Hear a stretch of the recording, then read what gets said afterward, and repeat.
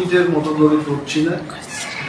Just একটা সাধারণ আলোচনার মাধ্যমে আপনাদের জানাব আমি কি বলতে চাইছি আজকে। আজকের প্রেস মিটে তিনটা অংশ থাকবে। এক নম্বর হচ্ছে রোমান স্ক্রিপ্টের ব্যাপার। দুই নম্বর দশ হাজার তিনশো তেইশ জন কর্মচারীদের সম্পর্কে আমি বলব। তিন নম্বরে রাজ্য সরকারের টুকিটাকি বিভিন্ন ইস্যু মিসস্যালানিয়াস ইস্যুকে আমি বলব। প্রথমে রোমান স্ক্রিপ্ট সম্পর্কে কিছু বলব। গত পরশু দিন আগরতলায় টিআইএসএফ এর ছাত্ররা যখন আন্দোলন করে, আন্দোলনকারীদের বিরুদ্ধে পুলিশি ব্যবস্থা গ্রহণ করা। আমরা তিপ্রামথার পক্ষ থেকে এবং তিপ্রামথার লেজিসলেটিভ পার্টির পক্ষ থেকে ঘটনার তীব্র নিন্দা জানাচ্ছি। আমাদের ত্রিপুরা এখানে আমরা যারা আছি, ভাষা কি জিনিস, এটা আমাদের নতুন করে বোঝানোর কোনো দরকার নেই। বিশেষ করে যারা বাঙালি অংশের মানুষ ওনাদের থেকে আমরা অনেক কিছু শিখেছি এবং আজও আমরা শিখছি। ওনারাই অনেক ক্ষেত্রে আমাদের অনুপ্রেরণার বিষয়, এটাতে কোনো সন্দেহ নেই। উনিশশো সালে যখন আজকের যে বাংলাদেশ, এই বাংলাদেশটা ছিল পাকিস্তানের একটা অংশ, যাকে আমরা বলতাম পূর্ব পাকিস্তান। সেখানে বাংলা ভাষায় যারা কথা বলেন, বাঙালিদের উপর যে বাংলা লেখা হবে উর্দু স্ক্রিপ্ট এটা কিন্তু চাপিয়ে দেওয়া হবে। At that point of time সমস্ত বাঙালিরা বাংলা ভাষায় যারা কথা বলেন নট চক্রবর্তী, দেবনাথ, ভূমি, সমস্ত যারা চাকমারাও যারা সেখানে বা পিঁপড়ারাও যারা সেখানে বাংলা ভাষায় কথা বলেন, তারাও ওই ভাষা আন্দোলনে জাপিয়ে পড়েছিল এবং বাংলাকে কোনোভাবেই উর্দুতে লেখা যায় না, বাংলা স্ক্রিপ্টে লিখতে হবে, এটার আন্দোলন ছিল। দ্যাট ইজ ওয়াই ওই আন্দোলনের পর থেকে কিন্তু টুডে বাংলা ভাষাটাকে বাংলা লিপি দিয়ে লেখা হয়ে থাকে এবং এখানে আমাদের যে দীর্ঘদিনের, এটা শুধু তিপ্রাদের কুমুদ কুন্ডু চৌধুরী, উনি কি তিপ্রা ছিলেন? হি ওয়াজ এ বেঙ্গলি ম্যান উনি বাঙালির ঘরে জন্মগ্রহণ করেছেন। উনি বাঙালি অংশের মানুষ ছিলেন। উনিও তো বলেছেন যে কক বরককে যদি সঠিকভাবে লিখতে হয় সম্পূর্ণভাবে বাংলা স্ক্রিপ্টে সেটা লেখা যায়। তার উদাহরণ আমি দিচ্ছি। অনেককেই বলি আমি যে কখই আপনারা কি করে লিখবেন? কথার আপনারা কি করে লিখবেন? কথারটা যদি বাংলায় লিখতে হয়, কুথার লিখবে না? কুথইকে কুথুই বল, লিখবে। কচারকে কুচার বলবেন বাচিকে বাচই বা বাচুই করতে হবে। তো এইভাবে কিন্তু একটা ভাষাটাকে বাংলা দিয়ে লেখা যায়। আমরা যারা কক বড় ভাষায় কথা বলি, এবং আমরা ছাড়া যারা অন্যান্য ভাষাভাষীর লোক কক বরফ নিয়ে যারা চর্চা করে, তারা সবাই বলেছে যে রুমান হরফ দিয়ে কক বরফকে লিখলে অন্তত নাইনটি নাইনটি ফাইভ পার্সেন্ট কক বরফের উচ্চারণকে সঠিকভাবে লেখা যায় দ্যাট ইজ দি রিজন তো আজকে আমরা দেখেছি লেফট ফ্রন্টের সময়। আমার জীবনের সিংহ ভাগ সময়টাই আমি দেখেছি। বামপন্থীদের শাসন। নৃপেন বাবুর দশ বছর এবং পরবর্তী সময় দশরথ বাবুর পাঁচ বছর, তাহলে পনেরো বছর এবং পূর্বতন যিনি মুখ্যমন্ত্রী মানিক সরকার ওনার কুড়ি বছর মানে পঁয়ত্রিশ বছর in my life long the longest government যাদের আমি দেখেছি, তারা হচ্ছে বাম। বামপন্থীদের সময় কিন্তু রাজ্যের যতগুলো কলেজ আছে বা ইউনিভার্সিটি আছে স্কুল আছে, সেখানে ওনারা অন্তত পরিষ্কার ভাবে না বললেও অনুমতি দিয়েছে। বাংলায় যারা লিখছেন, লিখুন। এবং রোমানে যারা লিখতে চান, তারা লিখুন। এবং এই কথাও তো সত্য যে সিবিএসসি স্কুল মানে ইংলিশ মিডিয়ামে হয়ে থাকে। এটা এটা আমার বানানো গল্প না। আমাদের রাজ্যের যিনি মুখ্যমন্ত্রী, উনি একজন ডক্টর, আমি গ্রাজুয়েট ইঞ্জিনিয়ার। উনি কিন্তু গ্রাজুয়েট ডক্টর নন। উনি মাস্টার ডিগ্রি, অর্থাৎ masters in dental surgeon MDS মানে আমার চাইতে আরও বেশি উনি পড়াশোনা করেছেন এবং উনার ডিগ্রি এবং পড়াশোনাকে আমি সম্মান জানাই এবং চিরকাল এটাকে সম্মান জানাই। বাট কিছু কিছু বিষয় ওনার জানা উচিত। যে সিবিএসসি মানে ইংরেজি। ইংরেজরাও কিন্তু ইংরেজিটাকে রোমান হরফ দিয়ে লিখে থাকে।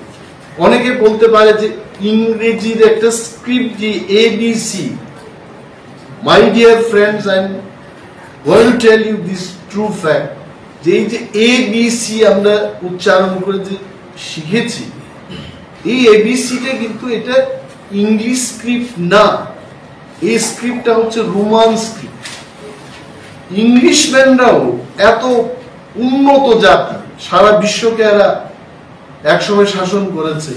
এরাও বলেছে যে ইংলিশ স্ক্রিপ্ট দিয়ে ইংরেজিকে লেখার চাইতে রোমানে লিখলে সেটা সহজভাবে লেখা so they also accepted that fact এবং সিবিএসসিতে যারা পড়াশোনা করে ম্যাট্রিক পাস করবে, এরা ক্লাস ইলেভেন টুয়েলভে গিয়ে হঠাৎ করে ডু ইউ ফিল দ্যাট বাংলায় এরা লিখতে পারবে?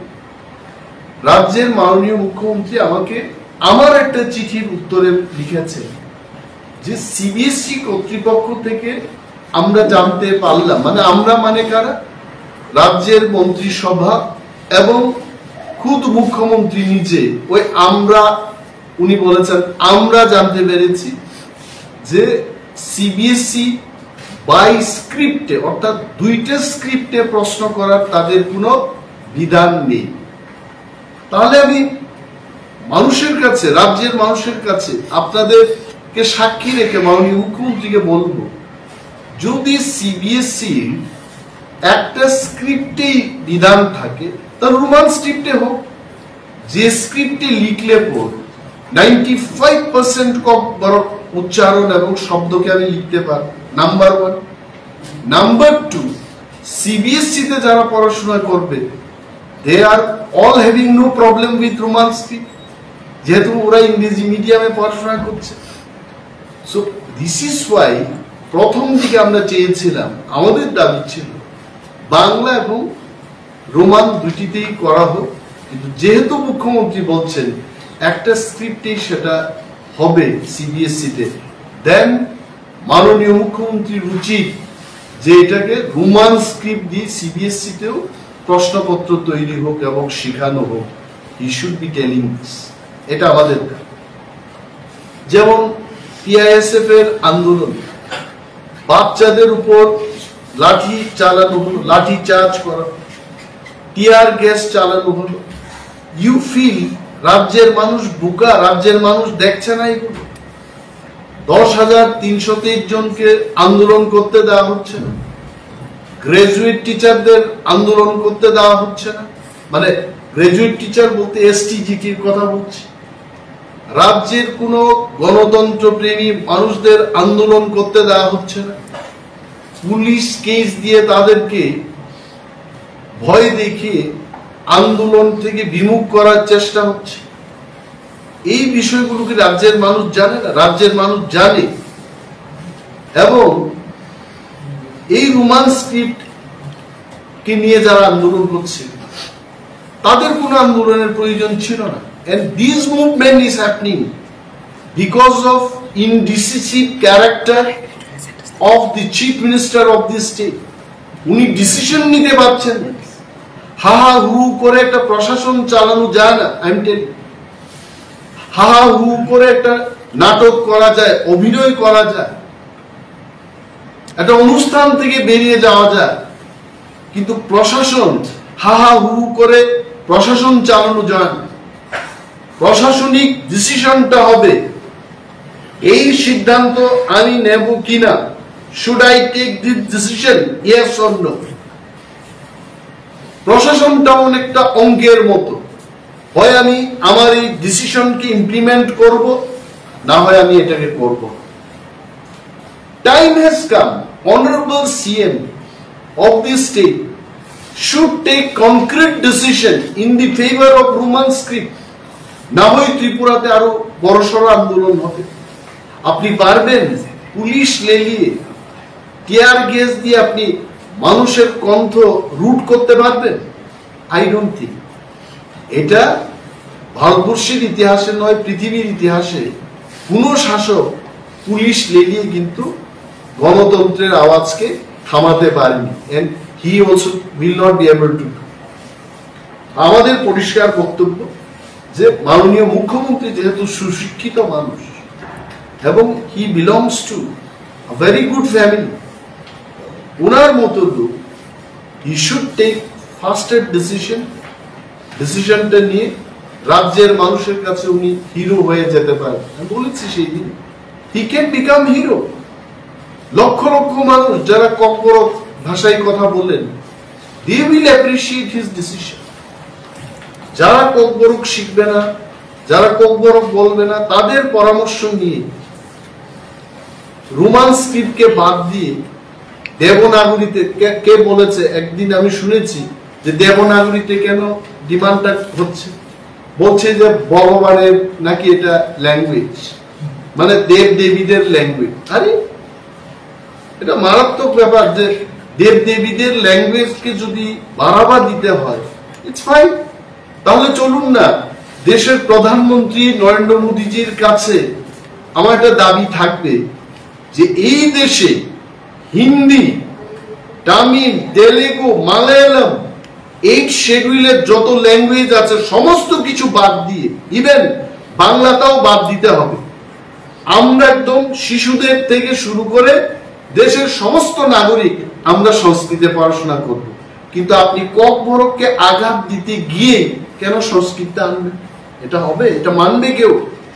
আজকে যদি বাংলা ভাষা এবং বাংলা স্ক্রিপ্টকে বাদ দিয়ে দেশের সংস্কৃত শিখতে হবে, এই আদেশ যদি চাপিয়ে দেওয়া হয়, এই দেশের কোটি কোটি বাঙালিরা মেনে নেবে না। আইনো ফর আইনো ফর কেউ মেনে নেবেন মালয়ালম মালয়ালম ভাষা থেকে বাদ দিয়ে দেবতার ল্যাঙ্গুয়েজ দেবীদের ল্যাঙ্গুয়েজ বলে সংস্কৃতে যদি মালয়ালিদের বলে যে কেরালায় সমস্ত লোক সংস্কৃতে পড়াশোনা করতে হবে, করবে কেউ? আই ডোন্ট এই সমস্ত বাজে যুক্তি দিয়ে ককবরককে আঘাত করলে পর ককবরক বাসীরা কিন্তু তাদের আঘাত প্রাপ্ত হবে। এবং আঘাত হলে যেটা হয় রাজনৈতিক প্রতিক্রিয়া হয়। You will get the result আমার বক্তব্য হচ্ছে, মুখ্যমন্ত্রী সুশিক্ষিত মানুষ। কেন যারা ককবরক শিখবেন না, যারা ককবরক নিয়ে যাদের মাথা ব্যথা নেই, তাদের পরামর্শ নিয়ে উনি এইভাবে ককবরককে অবজ্ঞা করছেন। He should take decision in favour of Romans এখন আমি দশ হাজার তিনশো তেইশ জনদের কথা বলব দশ হাজার তিনশো তেইশ জন, তেইশ জন যারা চাকরি হারিয়েছে, অনেকেই আমি দেখি, তারা দে কি মেকিং কমেন্ট যে, দাদা বা স্যার আমাদের জন্য কিছু একটা বলুন। আমি অনেকদিন ওনাদের মিডিয়ার মাধ্যমে বলতে চেষ্টা করেছি যে, আপনারা বাড়ি ঘরে থেকে আপনাদের কথা বলুন, বললেই বলা যায় আই নিড দি এভিডেন্স তথ্য থাকতে হবে আমার। আমার নিজস্ব প্রচেষ্টায়, আপনাদের প্রচেষ্টায়, আমার নিজস্ব প্রচেষ্টায় আমি কিছু তথ্য এবার পেয়েছি এবং স্টাডি করে এসছি। আপনারা দেননি। You all ten thousand three hundred twenty three people leaders যাদের আমি দেখেছি যেটা থাল নিয়ে রাস্তায় নেমে আ করে কেঁদে আপনারা আন্দোলন করেছেন। ওয়ার আর দুস লিডার্স আপনারা কখনো সিপিএম এর বিরুদ্ধে আন্দোলন করছেন? কখনো বিজেপি সরকারের বিরুদ্ধে আন্দোলন করছেন? আপনারা আসলে কাদের বিরুদ্ধে আন্দোলন করছেন? কেন করছেন? Brothers and sisters you have to come and tell me কারণ আমারও সেই তথ্য আমার কাছে ছিল না। But I got some information আমি যতটুকু স্টাডি করেছি অ্যারাউন্ড সিক্সটি টু পিটিশনার্স তারা দুই সালে এই দশ হাজার তিনশো জন কর্মচারীদের বিরুদ্ধে কেস করেছে যে how how government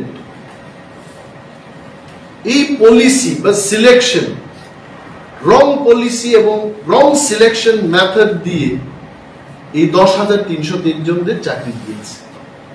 And so many documents are here in this এবং যখন শুনানি হয় কোর্টের মধ্যে, আর অনেকেই দিয়েছে I can remember one gentleman who has file the case যার নাম Tanmoy Nath. WPC case number fifty one এবং দুই হাজার চোদ্দ সালে এই লোকটা সহ আরও অনেকেই দশ হাজার তিনশো তিন জনদের বিরুদ্ধে কেস করার পর চমৎকার ভাবে ওই রায়ে একটা কথা বলেছে I must tell the press ওইখানে কোর্ট ভেরি ক্লিয়ারলি তার ভার্ডিক্টে বলেছে ওয়ান টোয়েন্টি সেভেন প্যারাতে বলেছে যে, since we have set aside the revised employment policy which applies to a large category of posts and not merely to teachers we would like to make it clear that our judgment shall be prospective in nature and shall not affect the appointments already made court বলেছে কিন্তু রাজ্য সরকারকে court বলেছে এবং কি বলেছে বলেছে যে যদি আমরা পলিসি এবং সিলেকশন প্রসেসটাকে বাতিল করি if the court gives right যে এই পলিসিটা যেটা দু হাজার তিন সাল থেকে যে চাকরিটা নেওয়ার জন্য পলিসিটা করেছে, এই পলিসিটা বাদ দিয়ে দিলে লার্জ সেকশন অফ এমপ্লয়িজ আমার হিসেবে মোটামুটি প্রায় পঞ্চান্ন হাজার সরকারি চাকরি চলে যাবে এটা কোর্টও আজ করতে পেরেছে। তখন কোর্ট বলেছে যে লার্জ সংখ্যক large category of post merely not teachers শুধু টিচার না, এখানে কেরানি বা বিভিন্ন অন্যান্য পোস্ট এই পোস্টগুলো কিন্তু এফেক্ট হবে তখন বলেছে যে যা হবার হয়ে গেছে, যাদের এমপ্লয়মেন্ট অ্যাপয়েন্টমেন্ট দেওয়া হয়েছে।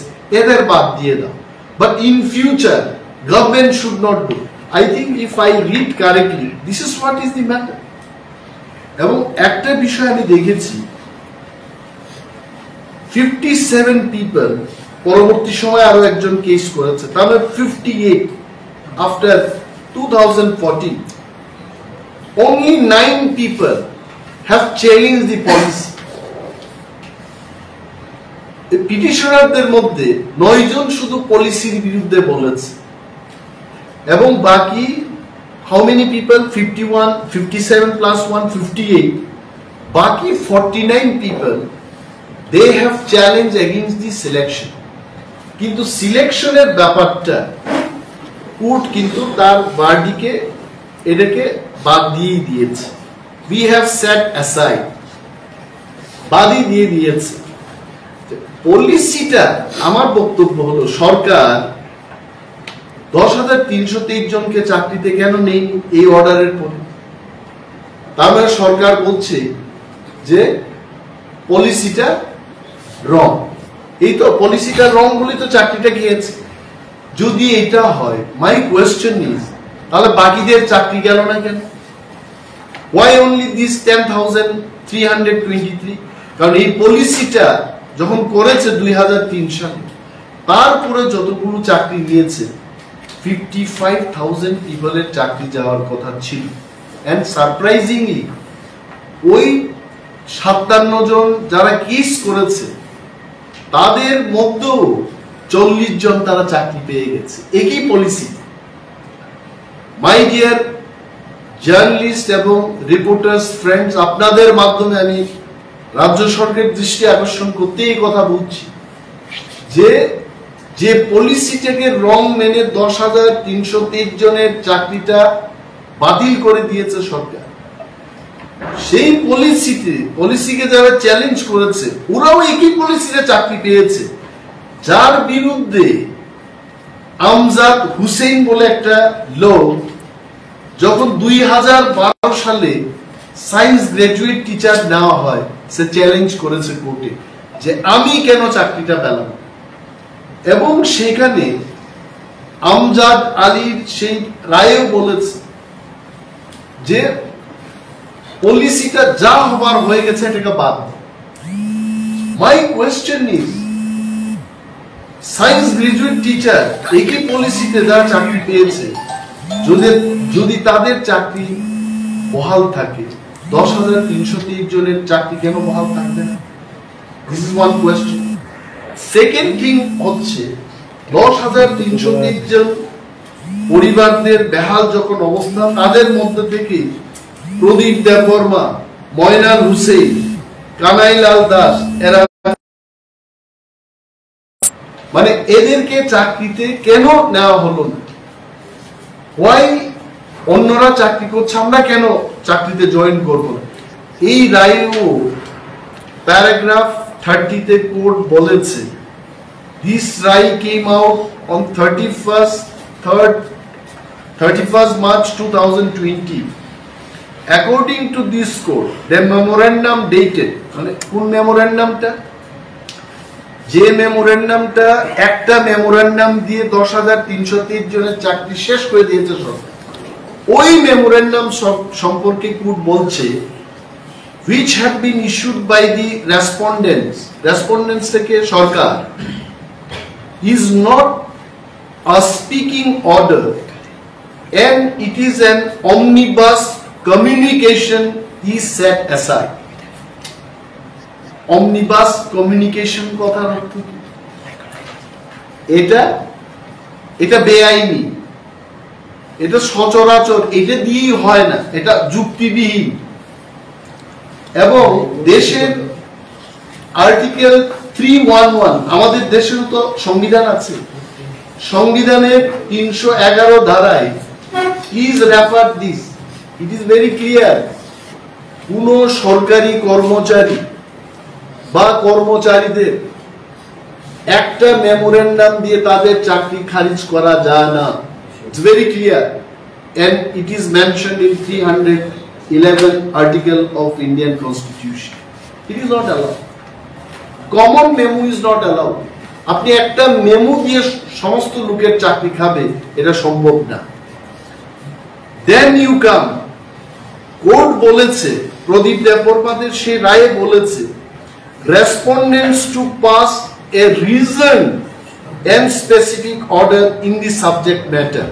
Relating to the petition. অর্থাৎ, আপনি যে একটা মেমু দিয়ে চাকরি বাতিল করে দিয়েছে, হয় আপনি নতুন মেমু দিয়ে তাদের চাকরি বাতিল করে আজও কিন্তু সরকার নতুন মেমু ইস্যু করে। তার মানে এদের চাকরি তো আছে। Now my question to the government question আগে বলছি গভর্নমেন্ট আমার যতটুকু জানা আছে, তিনজনের একজন একটা কমিটি অ্যাডভাইজারি কমিটি করেছে। যার শীর্ষে ছিলেন রাজ্যের প্রখ্যাত মানে কি বলব, জাজ, মাননীয় জাজ ছিলেন এবি পাল মহোদয় ছিলেন সেখানে, এবং সিনিয়র অ্যাডভোকেট চন্দ্রশেখর সিংহ ছিলেন, Prosenjit Biswas, retired IFS officer, এই তিনজনকে দিয়ে একটা অ্যাডভাইজারি কমিটি করে সরকার বলেছে আমাদের অ্যাডভাইস দিন আমরা কি করব। Unofficially I have the copy of প্রাক্তন জাজ এবি পাল মহোদয় যেটা চিফ সেক্রেটারিকে চিঠি দিয়েছেন এখানে উনি ক্লিয়ারলি বলেছেন যে the notification constituting the committee has not been modified or revoked as there is no chairman and so no possibility of meeting of the committee এখানে উনি ক্লিয়ারলি বলেছেন যে রিট পিটিশন এই যে ফিফটি রিট কেসেস অ্যাপয়েন্টমেন্টের বিরুদ্ধে যা করেছে, তাতে মাত্র চারশো বাষট্টি জনের বিরুদ্ধে, নামের বিরুদ্ধে কোর্টে সমন মানে পাঠিয়ে তাদেরকে বলা হলো যে তোমাদের বিরুদ্ধে কেস আছে। এবি পাল মহোদয়ের, আমি যা বললাম এখানে বক্তব্য হচ্ছে যে দশ জনের মধ্যে কোর্ট শুধু চারশো বাষট্টি জনকে সমন দিয়েছে, যদি চাকরিও যায়। তাহলে দশ হাজার তিনশো তেইশ জনের মধ্যে ওই চারশো বাষট্টি জনের চাকরি যাবে আরও নয় হাজার আটশো একষট্টি জনের চাকরি থাকবে। হিস রিপোর্ট সেই অ্যাডভাইজারির যিনি মেম্বার মেম্বার এই কথা বলছে।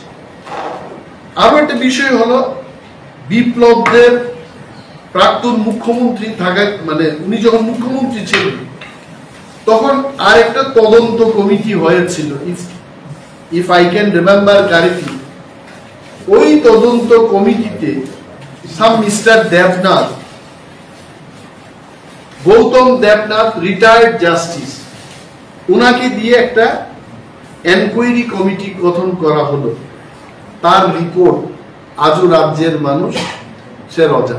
উই ডোন্ট আর এইখানে চন্দ্রশেখর সিনহা বা আরও একজন যিনি member Prasenjit Biswas retired IFS officer কি রিপোর্ট সরকারের কাছে দিয়েছে? তবে যতটুকু শুনেছি ওনারও পজিটিভ রিপোর্ট অর্থাৎ দশ হাজার তিনশো তেইশ জনের পক্ষে ওনারা বলেছে, তারপরও সরকার is inactive government is not taking any আমার এখন সরকার বাহাদুরের কাছে কয়টা প্রশ্ন থাকবে? যে যদি পলিসিটাই পলিসিটাই যদি লিগেল হয়, তাহলে পঞ্চান্ন হাজার লোকের চাকরি কেন দেবে? ওয়াই অনলি দিস দশ হাজার তিনশো তিন জনের চাকরি দেবে?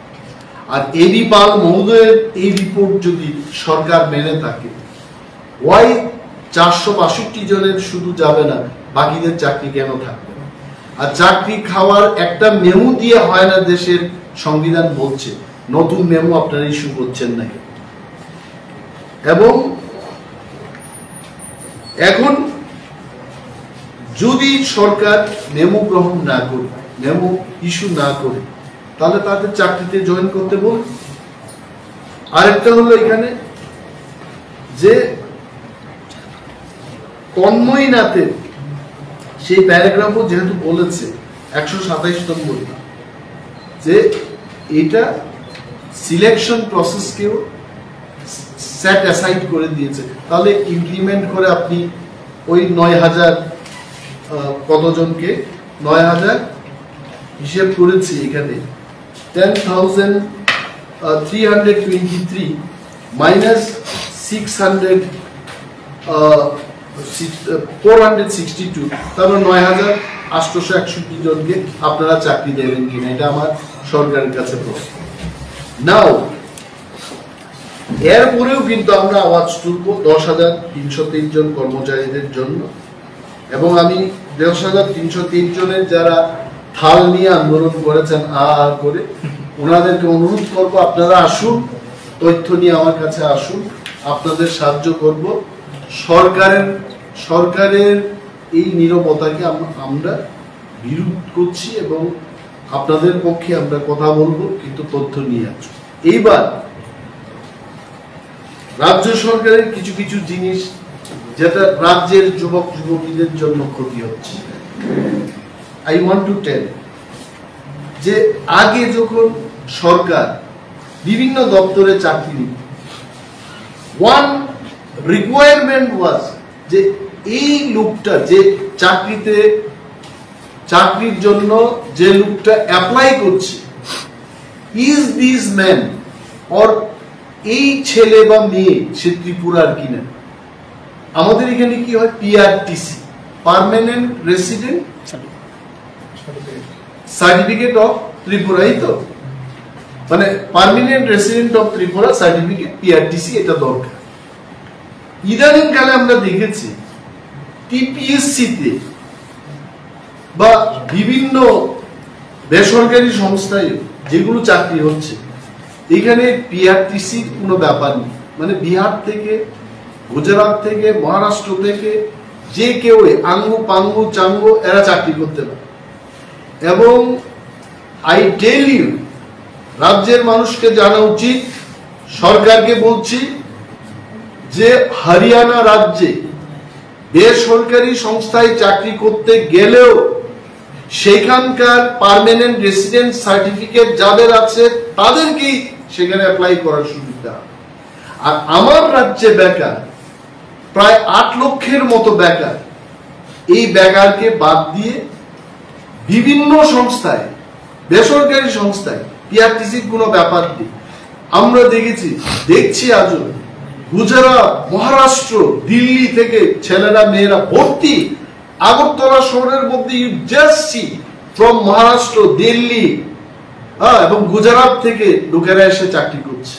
তো আমাদের ছেলেদের কি অবস্থা? হবে এবং সরকারি চাকরি ফরগেট এবং বেসরকারি সংস্থায় বিজেপি সরকার দুই হাজার আঠারো সালে আসার পর, ইভেন সরকারি সংস্থায়, মহারাষ্ট্রের একটা ছেলে সে টিসিএস পরীক্ষা দিয়েছে এখানে।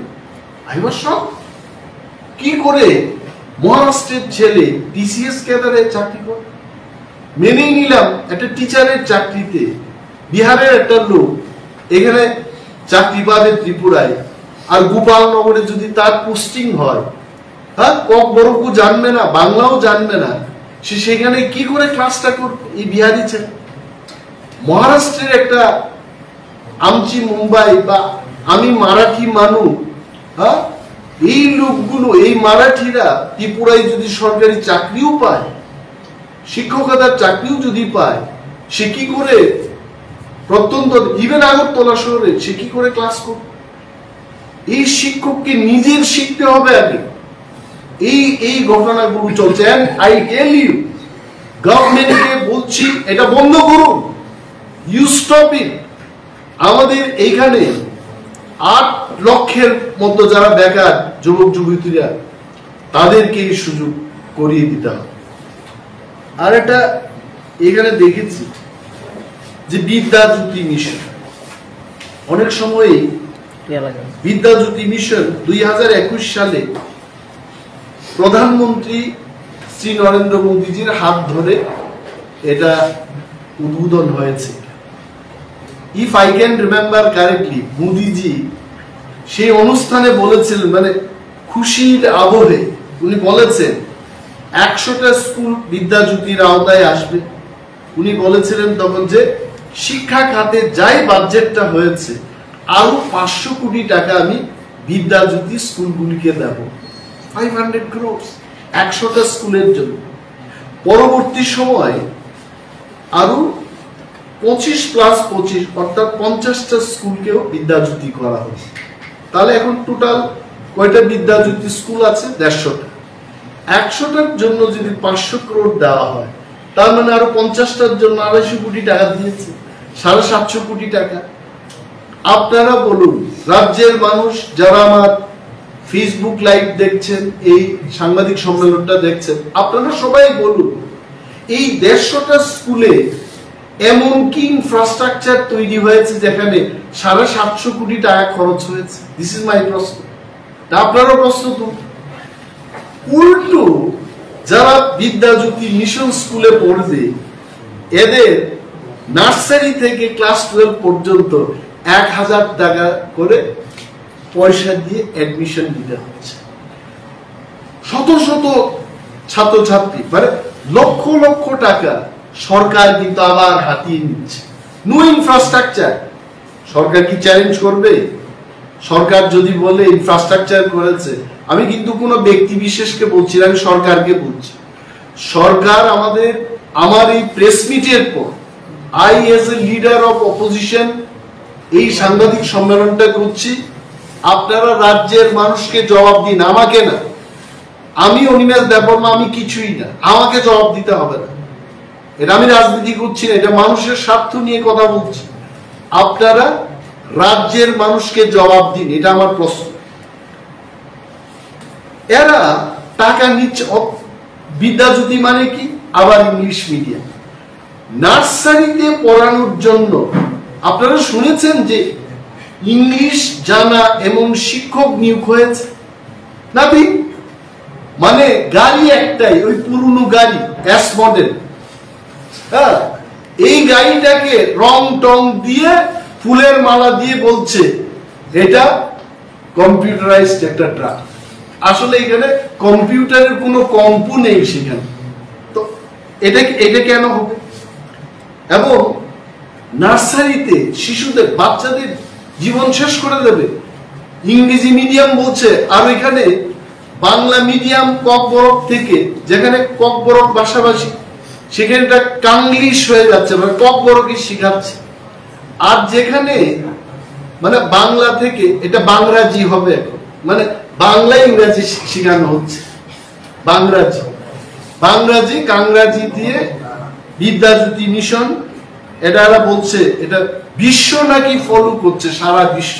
সারা দেশ ফলো করছে না, সারা বিশ্ব ফলো করছে। আমি আমি তো আকাশ থেকে ভেঙে পড়লাম যে কি করে এই সাড়ে সাতশো কোটি টাকা, এটা আমার এটা আমার ধারণার হিসাব। পাঁচশো কোটি কিন্তু প্রধানমন্ত্রী বলেছেন।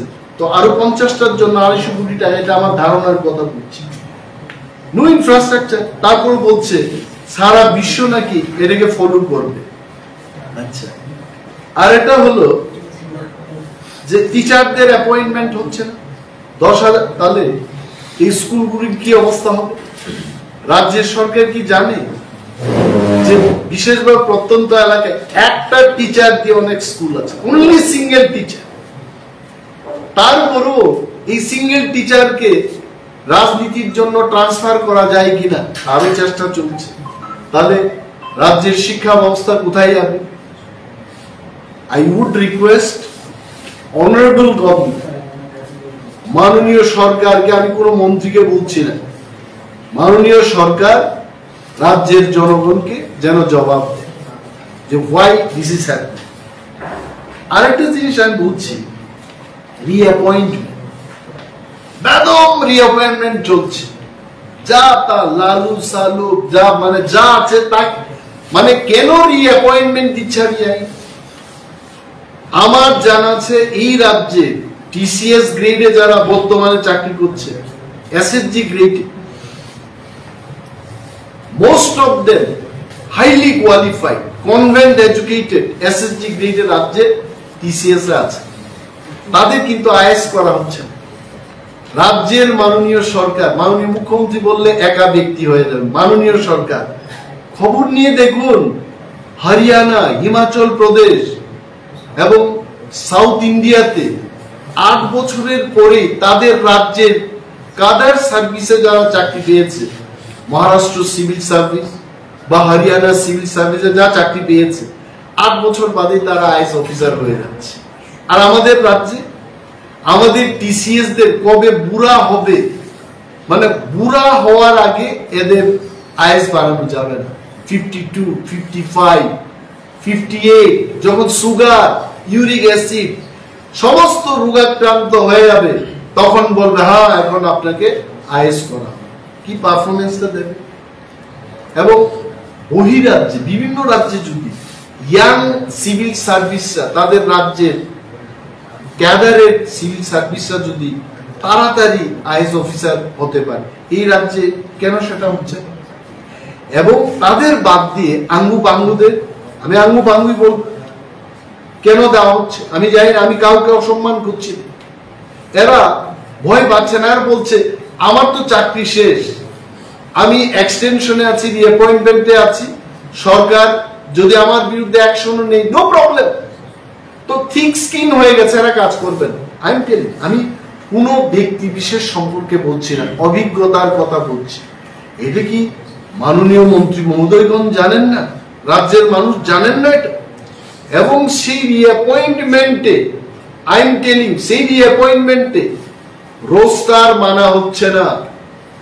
আমি টিসিএস রিক্রুটমেন্ট যখন করব, আমি তখন রিজার্ভেশন পলিসিটা ফলো করছি যে থার্টি ওয়ান পার্সেন্ট কাদের পক্ষে যাবে?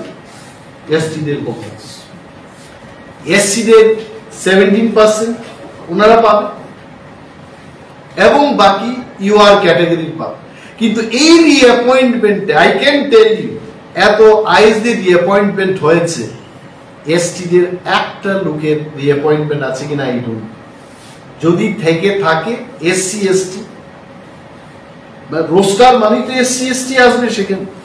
এদের রোস্টার মানা হচ্ছে না। Please come out with this তথ্য এবং কেন? আর এইভাবে যদি রিঅ্যাপয়েন্টমেন্ট হতে থাকে, তাহলে তো ভবিষ্যৎ প্রজন্মের, ভবিষ্যৎটাই অন্ধকার। প্রেজেন্ট জেনারেশনের ভবিষ্যৎটাই অন্ধকার। এটা আমি বলছি এই যে টিআরবিসির কথা বললাম। এটি কিন্তু জেআরবিটি জয়েন্ট রিক্রুটমেন্ট বোর্ড আছে, ত্রিপুরা। এইটাতেও কিন্তু এটা ফলো হচ্ছে।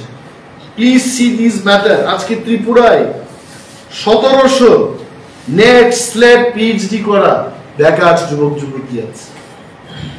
আর যদি মহারাষ্ট্র, গুজরাটের থেকে সমস্ত প্রফেসর টিচিং স্টাফ যদি চলে আসে, আমার এই সতেরোশো পিএইচডি স্ল্যাট নেট করা এই মেধাবী ছাত্রছাত্রীরা যাবে কোথায়?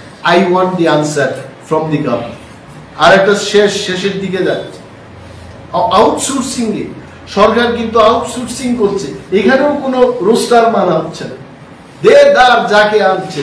দাড়িওয়ালা, দাড়ি নেই হাফ মুচ নেই জায়গা আনো, বাইরের থেকে আনো। এখানেও রাজ্যের পিআরটিসির এসটি এসসি এগুলো দরকার নেই। ব্রিং। মানে রাজ্যের মানুষের কোনো ব্যাপার নেই। কন্ট্রাক্টের ঠিকাদারের কাজ। সব বাইরের থেকে আসছে। এই রাজ্যের তাহলে কি হচ্ছে? রাজ্যের টাকা বাইরে নিয়ে যাচ্ছে। আগে আমাদের এখানে বিনয়বাবু যখন কন্ট্রাক্টর ছিলেন, কথার কথা, বিনয়বাবু বলে কেউ অঞ্চিনি অমর বাবু যখন কন্ট্রাক্টর ছিলেন, অন্তত উনি সেই আয়ের টাকাটা গুলবাজার লেক চমুনি এই এলাকাতে খরচ করতে আমাদের এখানে স্মার্ট বাজারে যাবেন। হরিগঙ্গা পোশাক রুটের অনেক কাপড়ের দোকানে কালীমাতা স্টোর্স থেকে উনি কিনবেন। কিন্তু এই গুজরাটির লোক দিল্লি থেকে আসছে কন্ট্রাক্টর টাকা নিয়ে গিয়ে সে দিল্লিতে কিনবে, গুজরাটে কিনবে। বা আমার রাজ্যের টাকা এখানে সার্কুলেট করার সেই সিস্টেমটাও চলে। মানুষ যে বলছে যে মানুষের কাছে টাকা নাই, টাকা নেই। টাকা আসবে কোথা থেকে? টাকা চলে গেছে। টাকা এখান থেকে বাইরে যাওয়ার রাস্তা করে দিয়েছে এটা সরকার। প্লিজ আনসার দিস লাস্ট একটা কথা বলব। এডিসি ভিলেজ কমিটি নির্বাচন হচ্ছে না। সারা দেশের মধ্যে, সমস্ত জায়গায় বাই ইলেকশন হচ্ছে, রাজ্যের মধ্যে নির্বাচন হচ্ছে, কিন্তু ভিলেজ কমিটি নির্বাচন করছে কেন হচ্ছে আমি প্রশ্ন দিচ্ছি। তিন, তিনবার প্রশ্ন দিয়েছি আমি ভিলেজ কমিটি সমস্ত প্রশ্ন খারিজ করে দিচ্ছে। কেন? স্পিকারের পাওয়ার আছে। ওনার ক্ষমতার বলে বলছে রুলস ফর্টি ওয়ানের অমক ধারায় এটাকে ক্যান্সেল করা কত? কত নাম্বার? সাত ধারা, হচ্ছে বারো। বারোতে কি লেখা আছে? স্পিকার যদি চায়, এই কোয়েশ্চেনটা উনি ডিসঅ্যালাউ করতে তো এই ভিলেজ কমিটির নির্বাচনে কি, আমি ক্যামেরার সামনে বলছি, সাংবাদিক সম্মেলনে বলছি, যে তীব্রামতা সমস্ত সিটি জিতবে। এটা এটা কি সম্ভব? যে পাঁচশো সাতাশিটার ভিলেজ কমিটির মধ্যে তীব্রামতা কি পাঁচশো সাতাশিটার মধ্যেই জয়লাভ করবে? আমি অনিমেষ দেববর্মা তীব্রামথার একজন কর্মী হিসেবে আমি বলছি। বিরোধী দলনেতা হিসেবে বলছি। লিখে রাখুন পাঁচশো সাতাশির মধ্যে পাঁচশো সাতাশিটা তীব্রামথা কখনোই জিতবে না। এটাই বাস্তব বিজেপিও জিতবে না। তাহলে কেন নির্বাচনটা করছেন? বিজেপি মনে করছে যে আমার বিজেপি যেন বেশি সিট বা বেশি বেশি দখল করতে পারে, সেই সময়টাতে গিয়ে করব। আরে আমি সরকার বাহাদুরদের কাছে বলছি, এই সময় আস্তে আস্তে এই সরকারটা যদি চলে যায়, তখন তো যা যেখানটায় আপনারা জিতবেন, এটাতেও চলে যাবে। এটা দিয়ে নির্বাচন হয় না, নির্বাচন হয় মানুষের সাথে। ভিলেজ কমিটিতে নির্বাচন হচ্ছে না বলে সেখানে সেন্ট্রাল গ্রান্টের টাকা আসছে না। ইলেকটেড বডিকে টাকা দেওয়া হয় নন ইলেকটেড বডিকে টাকা দেওয়া হয় না। সরকারকে সরকারকে জবাব চাইছি, জবাব দিন। আমাকে দিতে হবে না, রাজ্যের মানুষকে আপনারা জবাব দিন। বলবেন যে কেন আপনারা ভিলেজ কমিটির নির্বাচন করছেন না। ডোন্ট টেল মি আমার এই প্রেস মিটকে জবাব দিতে হবে রাজ্যের মানুষকে জবাব দিন। আপনাদের কাছে এটা আমার জানার ইচ্ছা। আমি বিরোধী দল না। আমি প্রশ্ন করছি ভিলেজ কমিটি নির্বাচন কবে হবে? বলছে না। এটা খালি তিনবার। এইবার আমি আরেকটা প্রশ্ন দিয়েছি গত পরশু কি লিখেছি? এখন আমি লিখেছি, কারণ যেহেতু ইলেকশন দপ্তরে এটা জিজ্ঞেস করা যায় না, একটা বডি নাকি, বলছে যে স্টেট ইলেকশন কমিশন এটা কোনো সংস্থা না, এটা সরকারের বক্তব্য এটা টেম্পোরারি এটা যখন ইলেকশনটা হয়, গঠন করে ইলেকশন শেষ, এদের কাজ শেষ। রাজ্যের যে ইলেকশন দপ্তরটা, এটা শুধু পার্লামেন্ট ইলেকশন এবং বিধানসভা ইলেকশনটা অন্য ইলেকশন ক্ষেত্রে এইগুলো রাজ্যের ইলেকশন কমিশন দেখবে যেটা টেম্পোরারি ইন নেচার ভালো কথা, এইবার আমি প্রশ্নটাকে ঘুরিয়ে এবার দিলাম। কি দিয়েছি জানেন? প্রশ্নটি লিখেছি যে সশাতিচ জেলা পরিষদ এলাকায় এডিসি ভিলেজ কমিটির নির্বাচন কবে নাগাদ হবে? উপজাতি কল্যাণ দপ্তরের জানা আছে কি?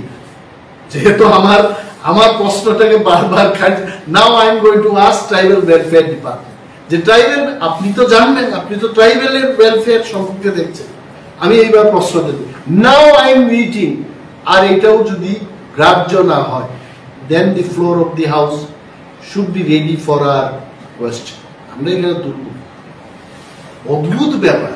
I am surprise I am telling আমি ভাবছি যে পরিষদীয় দলনেতা, সম্মানীয় শ্রী নাথ মহোদয় ওনার কাছে যাব, জিজ্ঞেস করব। উনি একমাত্র জীবন্ত পণ্ডিত ব্যক্তি আছেন এই বিষয়ে, এটা আমাদের গর্ব। উনি জানবেন কেন এইগুলো হচ্ছে। এগুলো অবাক মানে আই ক্যানট আস্ক বাকি সব কোয়েশ্চেন আমি জিজ্ঞেস করতে হবে। ভিলেজ কমিটি না এটাকে জিজ্ঞেস করতে আরে, রাজ্যের চোদ্দ, পনেরো লক্ষ মানুষ ওয়ানসা তিপ্রাসা সবাই এডিসি এলাকা বনবাজার কারা? বাঙালি। এটা তিপ্রা। আসাম বাড়ি কারা? ওয়ানসা করঙ্গি ছড়াই কারা? আরে, আমাদের অনেক সাংবাদিক বন্ধুরা এইসব এলাকা যান।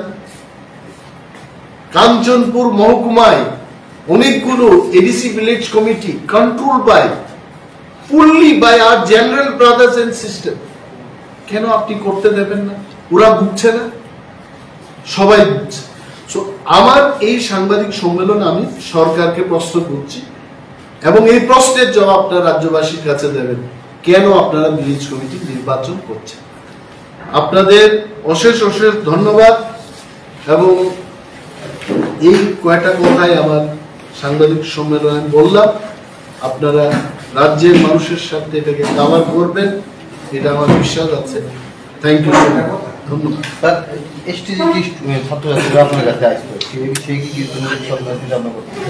আমি এসটিডিটিদের বিষয়ে বলেছি যে পাঁচ হাজার চৌত্রিশটা পোস্ট খালি থাকার পরও সরকার অনলি দুইশো তিরিশ জনের চাকরি নেবে। স্টার রাজ্যে যেখানে এক, একজন করে টিচার দিয়ে স্কুল চলছে, এখানে গ্রাজুয়েট টিচার মানে এসটিজিটি গ্রাজুয়েট টিচার নেবে না এরা, মাত্র দুইশো তিরিশ জনের নেবে five thousand thirty four post backend এটা আমার কথা না, এটা আরটিআই এর উত্তরে সরকার বলেছে। তো রাজ্যের মানুষের কাছে সরকার বাহাদুর বলুক যে কেন টিচার রিক্রুটমেন্ট হচ্ছে হোয়াট ইজ দি রিজন আরেকটা বিষয় হচ্ছে সামনেই খুব সম্ভবত বিধানসভা অধিবেশন বসবে এই যে সার্বিক বিষয়গুলো আপনি তুলে ধরলেন সেই বিষয়গুলো ওখানে সমস্ত প্রশ্ন আমি না আমাদের অনেক বিধায়করাও বিধায়িকারাও প্রশ্ন তুলেছে প্রশ্ন পাঠিয়েছে। আমরা দশ হাজার তিনশো তেইশ জন এসটিজিটি ইস্যু আউটসোর্সিং এ রাজ্যের ছেলেরা মেয়েরা প্রাধান্য পাচ্ছে না। সরকারি চাকরিতে পিআরটিসি কেন? সেটার উল্লেখ নেই। এই বিষয়গুলো কিন্তু আমরা ধর একটা প্রশ্ন ছিল সেটা হচ্ছে দেশের প্রধানমন্ত্রী নয় বছর পূর্ণ হিসেবে সারা দেশ জুড়ে বিভিন্ন উন্নয়নমূলক বিষয় নিয়ে প্রচার করছে। এই বিষয়ে ত্রিপুরায় কতটা উন্নয়ন হয়েছে? ত্রিপুরা আপনি কি বলবেন আগামীকালকে নাড্ডা সাহেবও আসছেন সেই প্রচার। ত্রিপুরায় জেপি নাড্ডা সাহেব আসছেন মোস্ট ওয়েলকাম এবং খবরের কাগজে যদি ছ- ছাপানো হয় এগুলি দেখবেন जेपी नड्डा जी को मैं ये बोलना बोलना चाहूंगा ত্রিপুরাতে যে উন্নয়নটা হয়েছে মোটামুটি দশ লক্ষ লোক পানীয় জলের অভাবে ভুগছে এটাই নয় বছরের দেশের প্রধানমন্ত্রীর উন্নয়ন এবং পাহাড়ি জনপদে রাস্তাঘাট ভেঙে যান চলাচলের যোগ্য না এটা হচ্ছে প্রধানমন্ত্রীর নয় বছরের যে কাজকর্ম। এবং আমাদের রাজ্যে উনারা যখন ক্ষমতায় এসছিলেন, তখন হয়তো বা five lakhs five point five lakhs বেকারের সংখ্যা ছিল। সেই বেকারের সংখ্যা আট লক্ষে পৌঁছে গেছে। এটাই হচ্ছে নয় বছরের উন্নয়ন। জেপি নাড্ডা সাহেবকে বলুন যে যে কোনো বিষয় নিয়ে যদি কেউ কি করে এরা? সেলিব্রেশন বা সেলিব্রেট করবে করতেই পারে। এখন চুরের বাচ্চাও যদি কেক কেটে বার্থডে পালন করতে চায়, আটকাবে কি? আটকানোর কেউ নেই। বার্থডে পালনের মাধ্যমেই আসল ব্যক্তির চরিত্র, তার কাজ, এটা প্রতিফলন হয়। প্রতিফলন হয় মানুষের কাছে। আর এই সরকারের, দেখুন I am very straightforward সরকার যদি জনপ্রিয় হতো, উনচল্লিশ শতাংশ ভোট পেত না। মিনিমাম ফিফটি পার্সেন্টের ওকে ফিফটি পার্সেন্ট বললাম না, যেহেতু ট্রাইঙ্গুলার কন্টেস্টটা হলো।